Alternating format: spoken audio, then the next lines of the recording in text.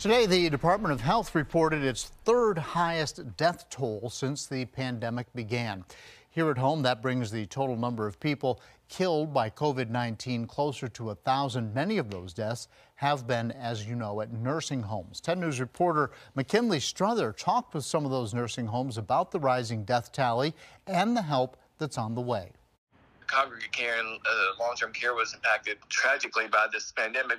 And even as 2021 marches on, those facilities continue to be hard hit, especially in the Rockbridge County Lexington community. Just trying to keep COVID out of community is like trying to to hold back a tornado. Alan Cosby is the senior vice president of Trio Healthcare, a company that manages Shenandoah Health and Rehab in Buena Vista. We have a large outbreak at that facility over the last several months. All have recovered now. As of this report, that facility has no positive patients. 14 people at the facility have died since the pandemic began, the last one on January 6. We reached out to other area facilities who either declined to comment or have not returned our calls. Kendal at Lexington was recently hit hard with 16 deaths occurring at Borden Health Center within the last month, according to a company spokesperson.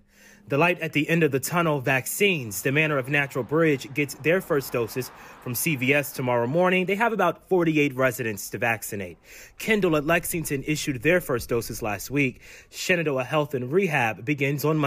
They'll vaccinate staff members, they'll vaccinate residents, they'll also vaccinate other healthcare, you know, any any healthcare provider that we work with, we've offered the vaccine to. It's their fighting chance to save more lives. Reporting on McKinley Strother 10 News, working for you.